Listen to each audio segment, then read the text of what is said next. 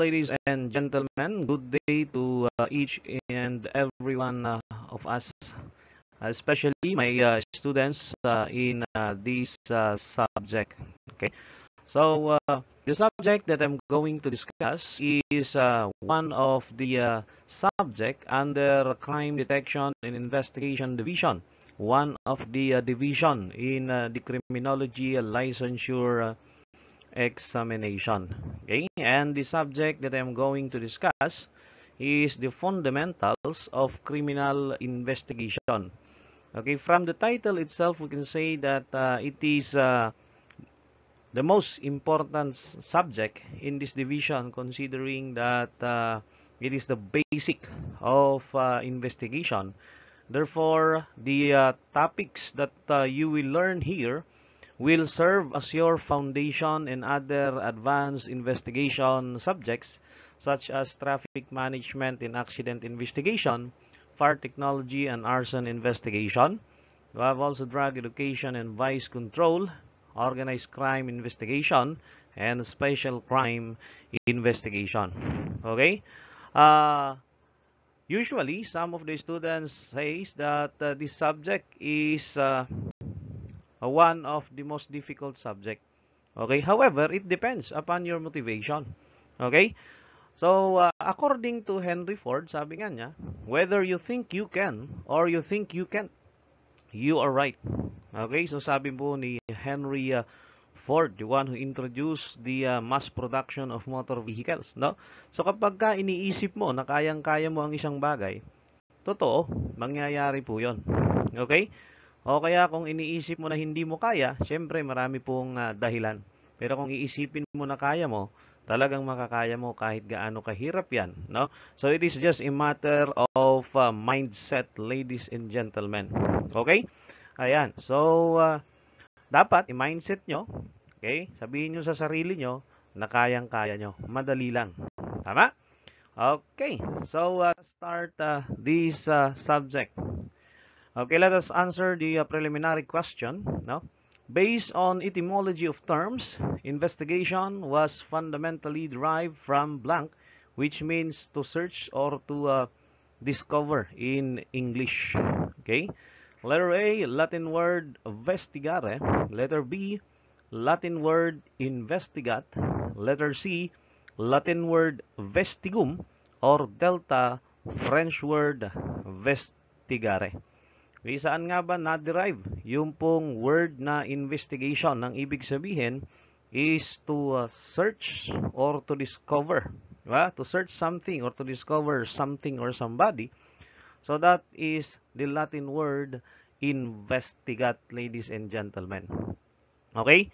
So some sources states that uh, the word investigation was also derived from the word or Latin word vestigare or investigare which means to track or to look into traces.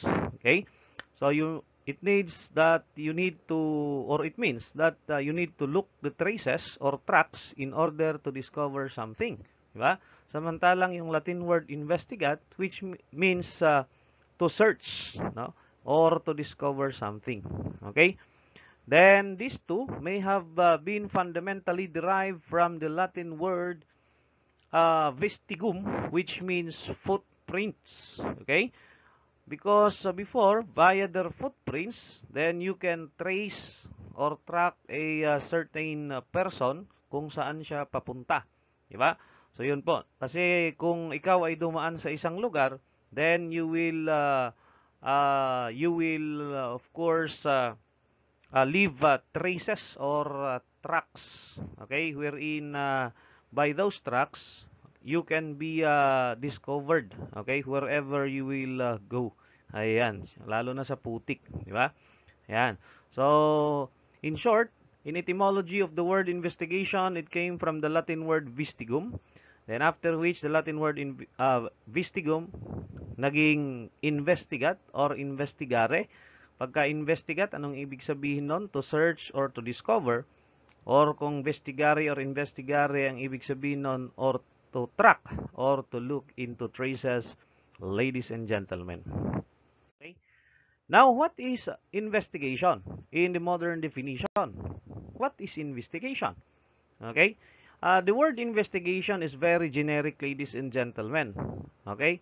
Yan. Kasi kapag uh, meron kang dinidiscover na isang bagay, okay, in order to establish the truth, that is already investigation. Pero kapag ka ang ini-establish mo is regarding a crime, it is called as criminal investigation. So what is investigation? It has a lot of definition or uh, judicial or otherwise, maaaring hindi judicial, for the discovery and collection of facts. Okay? So ano nga ba ang facts? Something that can be shown to be true concerning matters uh, involved. Yan. So it is an inquiry or investigation procedure, either judicial or not, for the discovery and the collection of facts concerning matters involved.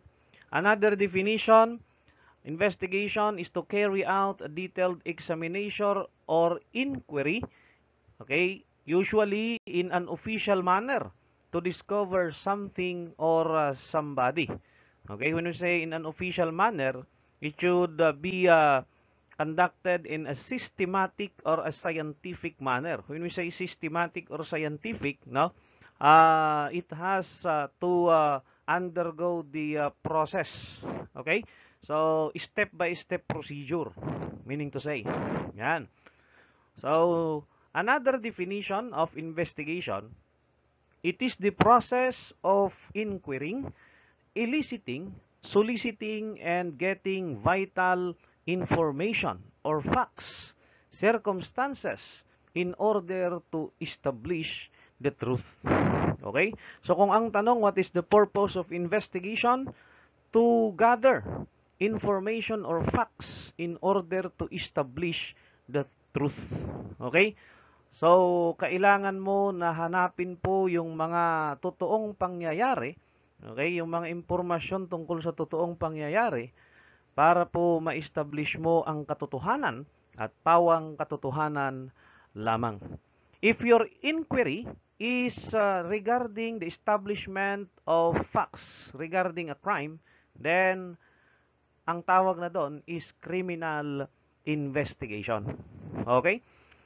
Another definition, the act or process of investigation or the condition of being investigated. It also refers to a search or inquiry for ascertaining facts, detailed or careful uh, examination.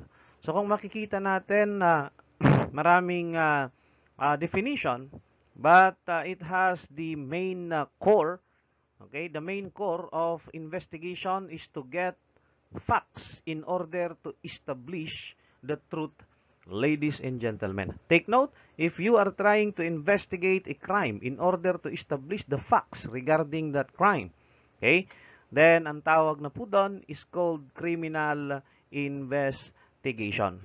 Okay? However, if you are just trying to inquire on something to discover the truth, it is called investigation. Ayan po yung difference. Okay? Ayan. What are examples of things to be investigated? Ano nga ba yung mga iniimbestigahan? Okay? So, anything which facts should be ascertained and truth should be established. So, kahit anumang pangyayari, anumang bagay, no? Basta meron kang uh, hinahanap, no? Na katotohanan or kailangan mong hanapin po yung mga impormasyon para po ma-establish mo ang katotohanan at pawang katotohanan lamang. Okay? But, sabi niya, but uh, in law enforcement point of view, especially criminal investigators, things that needs investigation are crimes. And some of the most common crimes are crimes against person. Ano nga ba yung mga crimes against person? You have uh, uh, murder, you have infanticide, homicide, yan, uh, and uh, other no physical injuries. You have crimes against property such as theft, robbery, carnapping, and the like. And you have also crimes against chastity. No? Like for example po ay acts of uh, uh, lasciviousness. Ayan, so yung crimes against woman po yan usually yung crimes against chastity. And other uh, uh, other acts which are prohibited under the law. Okay? So let us discuss, uh, ladies and gentlemen, later on the different types of uh, crimes. Yeah, So those are the examples of things to be investigated. So what is crime? Okay? In its legal definition, crime is an act committed or omitted in violation of public laws forbidding or commanding it. So there are two ways on how to incur a crime. Okay, either you have committed an act which is forbidden by public law. Okay, sa Tagalog, ginawa mo yung pong isang ipinagbabawal crime po yon. Yan. So, bawal pumatay, sabi doon, no? So, kapag ka ginawa mo yon, then definitely may crime kang nakumit. Okay? So, or you have omitted an act which is commanded by law. Pinag-uutos ng batas, then uh, hindi mo po ginawa, then yun po ay crime. Ito pong kinumit mo yung uh, isang act, okay? Na ipinagbabawal ng batas, ang tawag po natin diyan ay intentional felonies or intentional crime.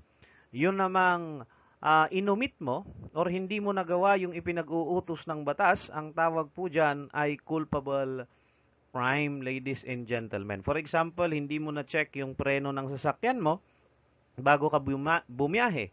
Then na aksidente ngayon, meron ka bang uh, pananagutan? Yes. Okay, because uh, you were not able to make the act which is commanded by law bago ka nagbiyahe na kailangan i-check mo muna yung sasakyan.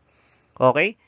In its social definition, crime refers to an act which does not conform to the norms and standards of the society. Ayan. So kapag ka sa ating society or ang ating society ang nag-define, lahat ng mga gawain na hindi po tugma doon po sa nakaugalian ay considered as a crime sa ating mata.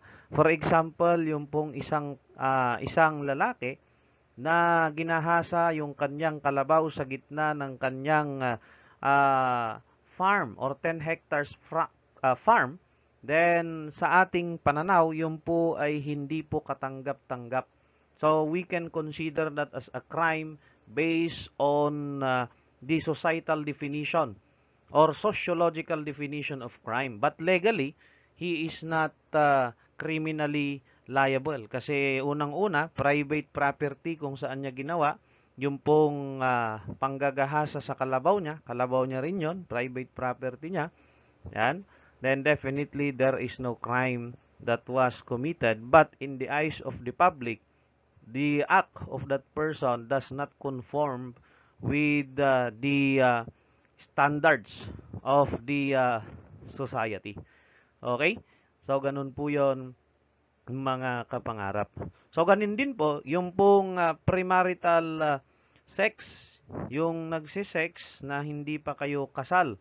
Yan, di ba? It does not conform to the norms and standards of the society. So, based on the sociological definition of crime, that can be considered as a crime. Okay? Then uh, there are uh, different types of crime based on law punishing such. Okay, crime which are uh, in violation of the revised penal code of the Philippines or Act number 3815 which is the primary source of our criminal law. Pagka yun po ang na-violate, it is called uh, felony. Okay? Then, offense ang tawag naman if an act or omission is punishable by existing special penal laws. It is the form of crime which is defined and punished by special penal law. Ano ba yung mga special penal law, ladies and gentlemen? Okay, you have presidential decrees, you have batas pambansa, okay, you have uh, special orders, and the most common is yung pong Republic Act. Okay? Yung pong uh, felony is punishable by Organic Act number 3815. Okay, so that is uh, pagka yung 3815 ang na-violate, that is called uh, felony. Okay? Ayan. Then another type of crime is called misdemeanor, okay, or infractions. Yan, misdemeanor or infraction, it refers to a light felony or light offense that is punishable by a small fine or short uh, period of imprisonment in jail. An act or omission in violation of city or uh, municipal uh, ordinance or ordinances. So ang tawag po doon misdemeanor or infractions of city or municipal ordinances, ladies and gentlemen. Okay? Yan, I hope uh, that uh, the type of crime are clear to you based on law punishing such. You have uh, felony, you have offense, and misdemeanor. Okay, next question.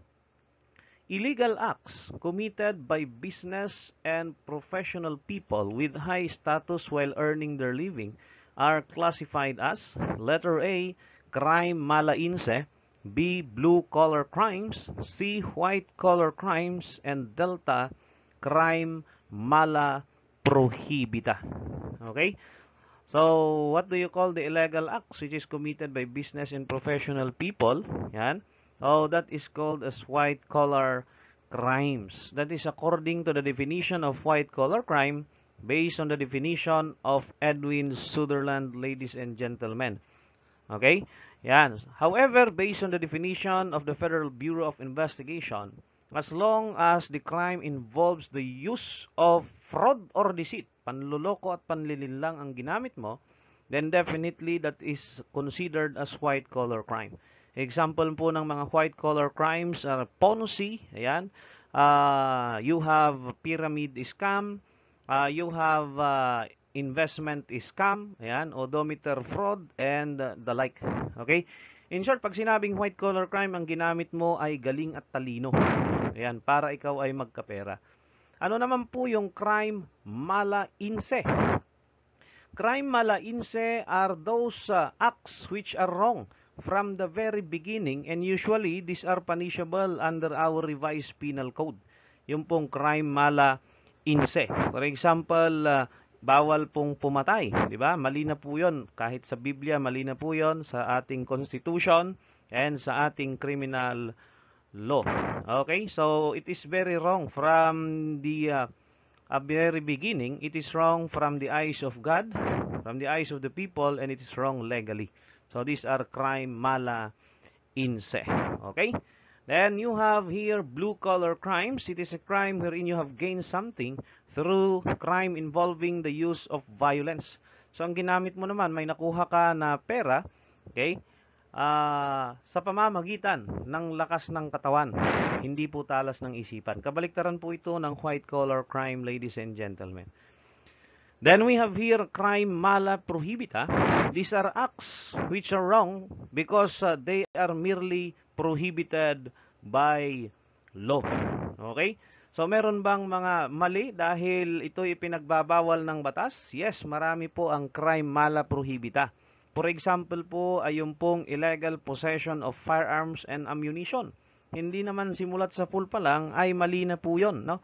Pero dahil may batas na nagbabawal po doon, kaya po nagiging mali. Kapag ka may hawak-hawak po yung civilian, wala pong lisensya na humawak ng baril, then there is a crime that was committed. Ganon din po ang illegal uh, uh, illegal uh, possession of uh, dangerous uh, drugs, ladies and gentlemen. Okay, so when we say crime mala prohibita, these acts are wrong because they are merely prohibited by law. At uh, ang uh, maganda pa dito sa crime mala prohibita ay mas madaling makonvict po yung pong mga uh, offenders basta hindi po uh, na-violate yung pong karapatan ng offender, then madali pong makonvict. Okay? Why? Kasi pagka crime mala inse, the intent should always be proven in court.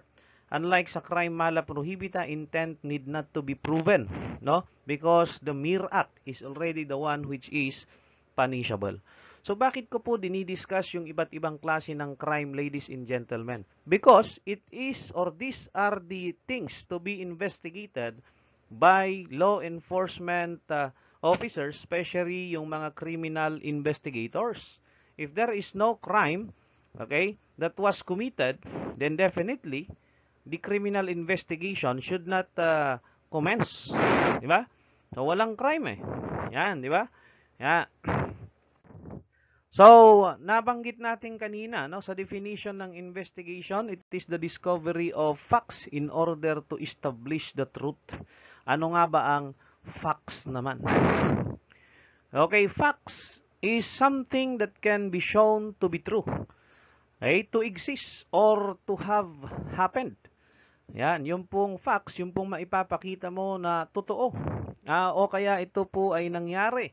At ano kaya ang uh, pamamaraan para maipakita yung isang bagay na totoo sa pamamagitan po ng evidence. Di ba?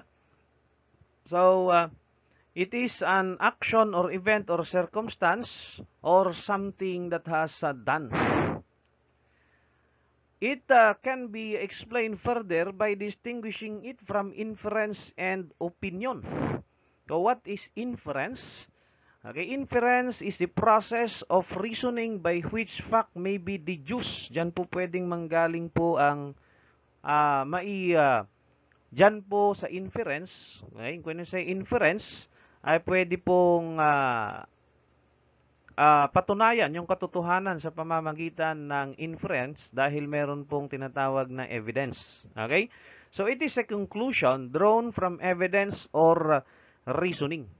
Okay? For example, bakit mo nasabi ang isang bagay? Dahil may nakita ka. Di ba? So yun po, no? Nakita mo si Pedro, hawak-hawak po ang kutsilyo, tapos nakita mo na itinatusok na ito sa kanyang biktima. Okay? So, that is inference kasi may nakita ka. Pero kung salita ka ng salita, siguro namatay si Pedro dahil uh, sinaksak. Yan po ay opinion lamang. Okay, ano ang opinion? Personal belief. Wala ka namang nakita pero salita ka ng salita. That is called opinion, ladies and gentlemen. Okay? Pero kung nagsalita ka uh, dahil meron kang nakita, meron kang narinig, okay? You have just stated a certain thing because uh, you have used your or you have perceived something using your five senses. It is called as inference. Okay, so what is uh, evidence? something that gives a sign or proof of the existence of or existence or truth of something or that helps somebody to come up to a particular conclusion. Okay? So evidence gives a sign of proof. So ano nga ba ang uh, uh, ang pamamaraan para mapatunayan na nag-exist yung isang pangyayari sa pamamagitan po ng evidence. Okay? It is the means sanctioned by the law in ascertaining a judicial proceeding respecting a matter of fact. Ayan. So ito po yung uh, pamamaraan na nakasaad po sa ating revised uh, rules no of uh, evidence sa ng uh, uh, ito po yung ginagamit uh, na nakasaad sa revised rules on evidence sa pagpapatotoo Okay, sa isang pangyayari. Okay, para mapatotohanan yung pong pinapatotohanan sa korte. Yung po ang evidence. Yan, so ebidensya. Okay? So ito po yung ginagamit na pag uh, ginagamit para mapatunayan ang isang pangyayari. 'Di ba? So ito po yung sinasabi ni Gas Abelgas na gamit ang sensya. Okay? Lohika ebidensya at pagkamaparaan ating aalamin kung ano nga ba ang nangyari. Okay, so maraming maraming salamat ladies and gentlemen for listening to the first part of the subject Fundamentals of Criminal Investigation. Once again, I'm yours truly, uh, ang iyong uh, kapangarap, kabalitaan at kakampi, Sami Bengwasan uh, Est Okay. Okay, so please tune in guys for uh, the uh, next uh, video presentation for this subject. Don't forget to click the subscribe button, then uh, click the bell button. Then after clicking the bell button on our YouTube channel, then click all so that you will be updated in the uh, succeeding upload of the continuation of the topic fundamentals of criminal investigation. Thank you and God bless us all.